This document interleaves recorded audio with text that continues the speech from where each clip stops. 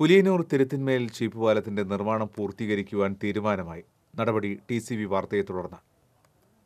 വേലൂർ പഞ്ചായത്തിലെ ആദൂർ മുട്ടിക്കൽ ചിറയുടെ സമീപത്ത് പുത്തൻതോടിന് കുറുകെയുള്ള പാലമാണ് കരാറുകാരനും ഉദ്യോഗസ്ഥരും തമ്മിലുള്ള തർക്കത്തെ തുടർന്ന് പാതിവഴിയിൽ പണി ഉപേക്ഷിച്ചിരുന്നത്.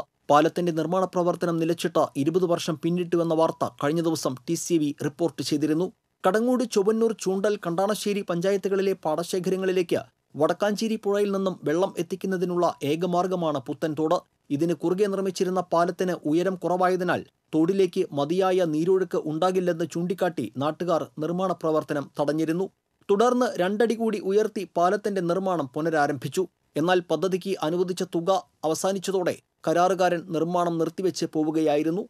ടി സി വി വാർത്തയെ തുടർന്ന് panchayat president T R Shobi vice president Karmala Johnson standing committee ചെയർമാൻമാരായ C F Joy Shelly Dileep Kumar irrigation ഉദ്യോഗസ്ഥർ എന്നിവർ സ്ഥലം സന്ദർശിച്ചു. പാലം നിർമ്മാണം എത്രയും പെട്ടെന്ന് പൂർത്തിയാക്കി ചീപ്പുകൾ സ്ഥാപിക്കുന്നതിനാവശ്യമായ നടപടിയെടുക്കുമെന്നും ഇരുപത് വർഷം മുൻപ് നിർമ്മാണ പ്രവർത്തനങ്ങൾ സ്തംഭിക്കാനുള്ള കാരണം ആവശ്യപ്പെട്ടിട്ടുണ്ടെന്നും panchayat president T R Shobi അറിയിച്ചു.